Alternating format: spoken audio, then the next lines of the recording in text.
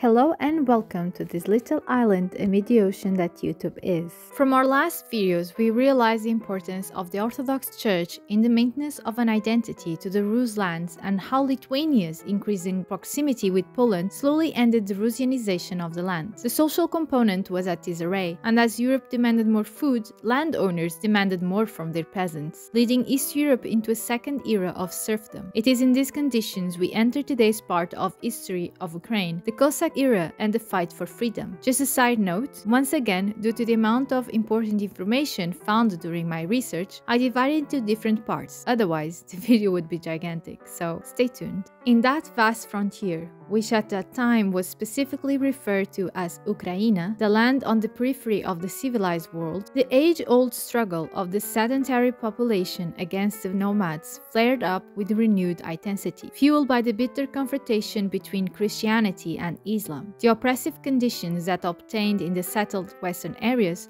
provided numerous recruits who preferred the dangers of frontier life to serfdom. Change began in the steppes. The struggle that started in the mid 14th century within the Golden Horde led to its disintegration by mid-15th century. The Crimean, Kazan, and Astrakhan became successors to the Horde, with no one able of uniting it and some even losing their independence. The Crimea area became independent of the Golden Horde in 1449 under the leadership of Haji Devlet Giray, a Genghis Khan descendant. And although the Giray dynasty would last into the 18th century, the realm would not remain independent, as by 1478 the Khanate became a vassal state of the Ottoman Empire. With the Ottomans taking direct control over the southern shores of the Crimea, they established their main center in the port city of Kaffa and controlled the steppe lands of the Crimea north of the mountains, as well as the nomadic tribes of southern Ukraine. Slavery was one of the most prominent interests of the Ottomans in the region, as the Ottoman Empire had laws that did not allow the enslavement of Muslims. Thus, the Nogais and Crimean Tatars responded to the demands, expanding their slave-seeking expeditions to the lands north of the Pontic steppes and often going much deeper into Ukraine and southern Muscovy. Ukrainians, which constituted the majority of the population of the steppe borderlands north of the Black Sea and had moved into the steppes in search of grain, became the main targets of the slave-dependent economy. Yet, the continuous deterioration of the peasant conditions and growing serfdom pushed people further from the settled areas towards a dangerous life on the frontier. What made the wild fields of the steppe forbidding were the Tatars. Their raiding swept down towns and villages, killing the old and frail and kidnapping thousands to sell as slaves. The raids were for the Tartars an economic necessity, as in exchange for slaves they obtained from the Ottoman Empire finished products and other desired luxury goods. The Tartar raids were often directed against the provinces of Kiev and Bratslav, and were particularly devastating in the late 16th and early 17th centuries. But the threat of raids was not sufficient to demote the Polish and Polonized magnates' interests in the rich and open lands who obtained vast tracts of territory in the east. In order to colonize the land, they offered peasants the use of land free from obligations for periods of 10, 20, or even 30 years. Many peasants took the opportunity to flee from their oppressive masters in Galicia and Volhynia. And after a generation or two, these peasants developed into a different breed from those in the more settled western provinces they had left behind. Simply by making the risky move to the frontier, they demonstrated that they were bolder and more self-reliant. Because they often had to plow their lands with their muskets at their sides in case of Tartar attack, they possessed military skills that their western compatriots did not. Their children, who had never known serfdom, grew up believing that they were free men who owed no obligations to anyone. This impression survived even when the terms of a sloboda ran out, for it was customary for peasants in the frontier regions to pay dues to magnates in cash or in kind, rather than in the form of demanding and demeaning labor. With more land available, the colonists tended to be better off, many owning as much as circa 40 acres of land, which was more than many noblemen owned in the West. Towns rapidly grew as people poured, yet Yet they were not particularly urban centers, as many of its inhabitants were peasants that worked the land nearby, but lived in the fortified towns. Consequently, These towns were not self-ruled, but rather owned by the magnates who built them and that provided troops for their defense. As many magnates preferred to spend their time in Krakow, Warsaw or Lviv, the magnates often employed Jews as their administrators. Most of these Jews were craftsmen, merchants and moneylenders. During this period, we observed the growing strength and arrogance of the magnates and the growing weakness of the royal government. The size of these landholdings was unmatched anywhere in the Commonwealth or indeed anywhere else in Europe, because these magnates controlled more territory and population than many Western European princes at the time, they were often referred to as kinglets. The epithet was appropriate. Many of these arrogant lords behaved like sovereign rulers, building magnificent mansions decorated with Dutch paintings and oriental carpets, maintaining lavish courts and large private armies. They scoffed at their king's wishes and frequently broke the law of the land. The definition of who were the Cossacks depends on the period. What is known for certain is that the first Cossacks were nomads. With a Turkic origin, the word Cossack was used to refer to the free, masterless men who lacked a well-defined place in the society, living at its margin. Slavic Cossacks first appeared in 1480s, but it was not until the development of serfdom in the mid-16th century that their numbers increased significantly. Originally, the bulk of Cossacks Cossacks were runaway peasants, although they also include burghers, defrocted priests, and impecunious or adventure-seeking noblemen. Although different ethnicities could be found at its ranks, the majority were Ukrainians and farther to the east, along the Don River, a Russian variant of Cossackdom would evolve. The Cossacks formed small bands and lived in the steppes outside the settlements and campsites of their wards, turning to fishing, trapping, and banditry. As many trade routes crisscrossed the steppe, the early Cossacks preyed on merchants, and their first mention came from the north of the settled area of the Grand Duchy of Lithuania in one of such attacks on merchants. In order to avoid authorities, the Ukrainian Cossacks pushed farther south along the Dnieper and beyond the small frontier outposts of Kanev and Cherkasy. In this bounteous but dangerous terrain, they engaged in okhody, that is, hunting and fishing expeditions, and in the grazing of cattle and horses. It was during these extended seasonal forays into the steppe that the first signs of organization appeared among them. As they ventured into the wild field, they chose the most experienced, brave, and resourceful men from among themselves as their leaders or otamany, and formed tightly knit groups to better fend off marauding Tatars as well as to cooperate in hunting and fishing ventures. Eventually, permanent fortified camps, or sich, with small year-round garrisons were established in the steppe and, for many, Cossackdom became a full-time, year-round occupation. In 1492, the Crimean Khan complained to the Grand Duke Alexander of Lithuania that his subjects from the cities of Kiev and Cherkasy had captured and pillaged a Tartar ship. The Grand Duke ordered his borderland, the term he used was Ukrainian, officials to investigate the Cossacks who might have been involved on the raid. In the following year, the Crimean Khan accused the Cossacks of Cherkasy of attacking a Muscovite ambassador. In 1499, Cossacks were spotted at the Dnieper estuary ravaging the environs of the Tartar fortress of Ochakiv. Although the growing number of armed independent Cossacks was worrisome to the royal officials, they also benefited from their existence, especially as they were found ideal to defend the frontier from Tartar raids, which was an onerous and important responsibility of the starosti.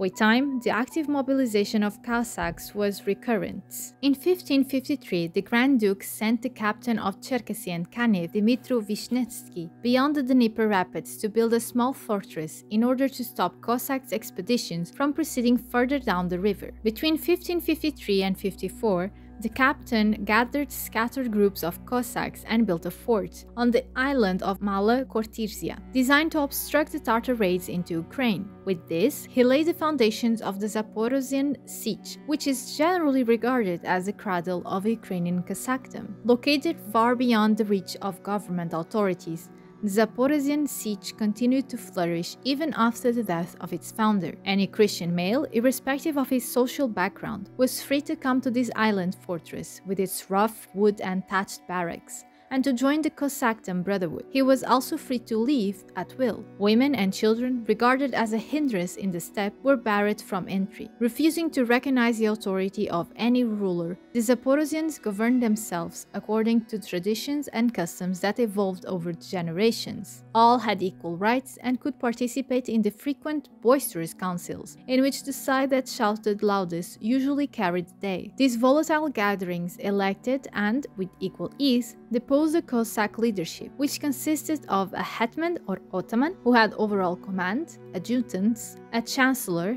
a quartermaster, and a judge. Each kurin, a term that referred to the Sich barracks and, by extension, to the military unit that lived in them, elected a similar subordinate group of officers, or starshina. During campaigns, the authority of these officers was absolute, including the right to impose the death penalty. But in peacetime, their powers limited. Despite the ethos of brotherhood and equality that the Zaporozhians espoused, Social economic distinctions and tensions gradually developed between the wealthier Cossack officers and the rank and file and caused recurrent upheavals at the Sich. Their economy consisted mainly of hunting, fishing, beekeeping, and salt making, and due to their location, trade also had an important role. While the original Cossacks were town dwellers along the Pripyat and Dnieper rivers, by the end of the 16th century, local peasants had swelled their ranks. The absolute majority of them were Ukrainians, who came from the huge manorial estates or latifundia of the magnates and nobility, to avoid what some historians call the second serfdom. As the tax-free periods promised by the magnates and gentries ended, many peasants moved farther into the hazard steppe territories to avoid taxation. Many joined the Cossacks and radicalized. Ostrozky initiated the first efforts to recruit the Cossacks into military service. The Livonian War increased the demand for fighting men on the Lithuanian border with Muscovy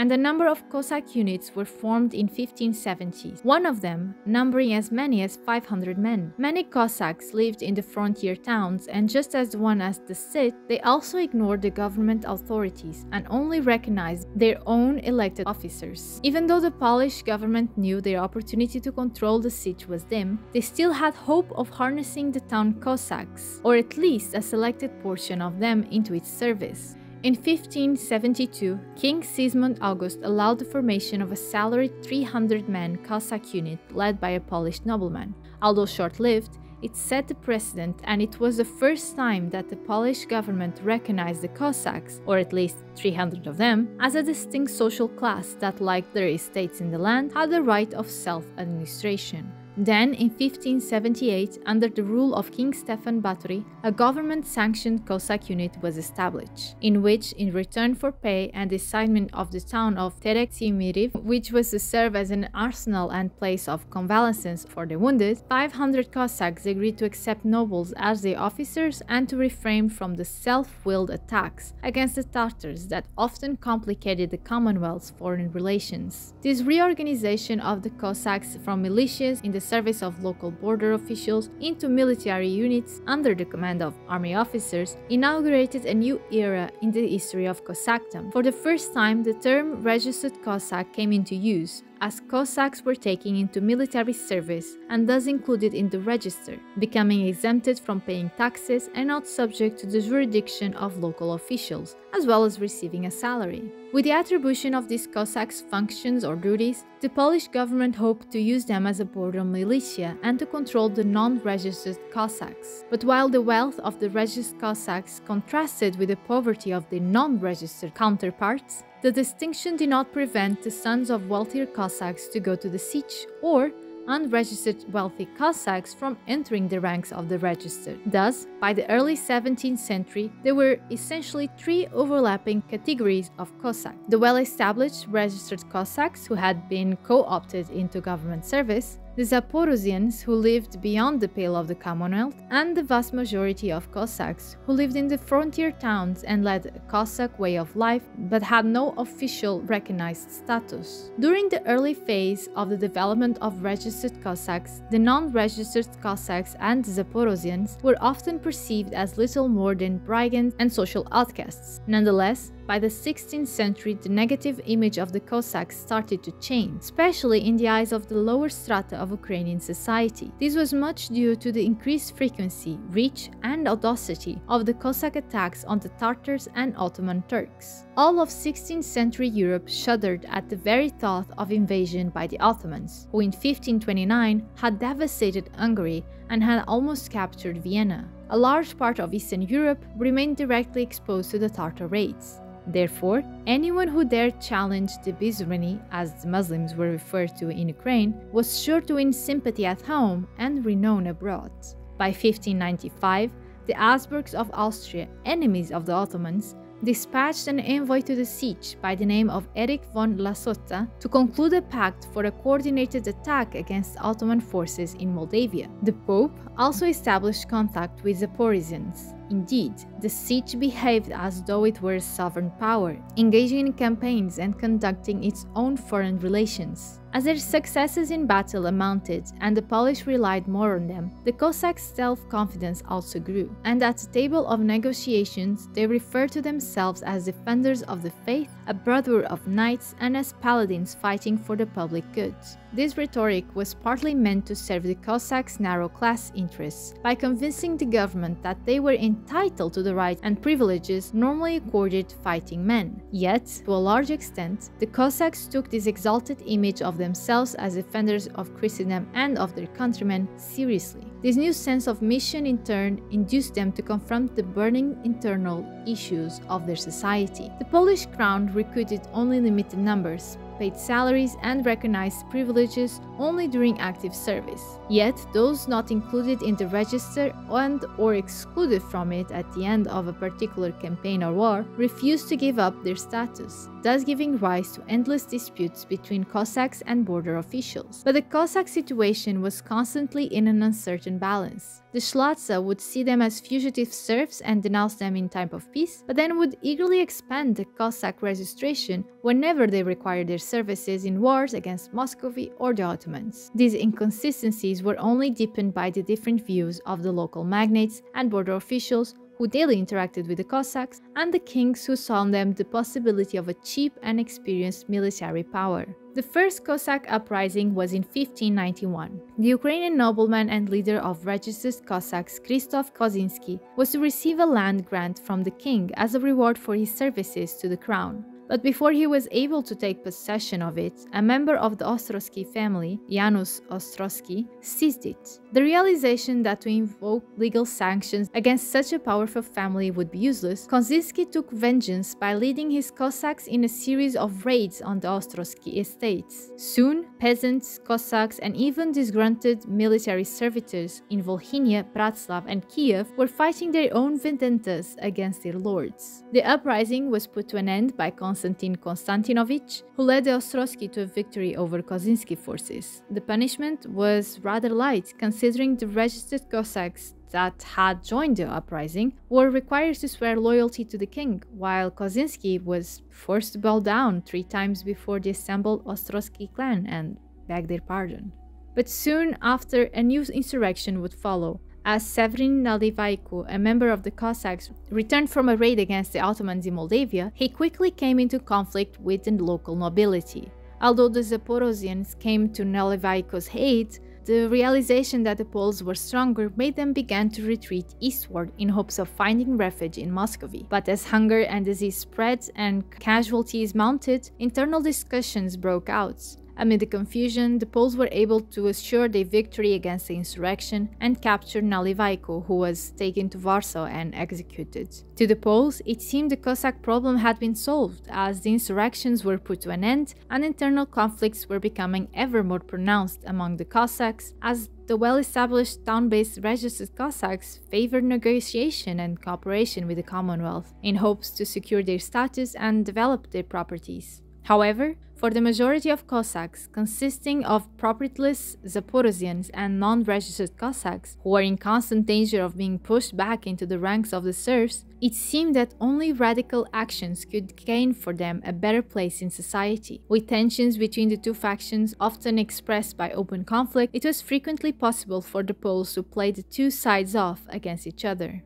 We reached the end of the first part of the Cossack era. Thank you so much for watching until the end. Do let me know your thoughts on the matter and feel free to share any sources you may have. And hopefully I will see you next time and together we will dwell more into the Cossack era. Stay safe!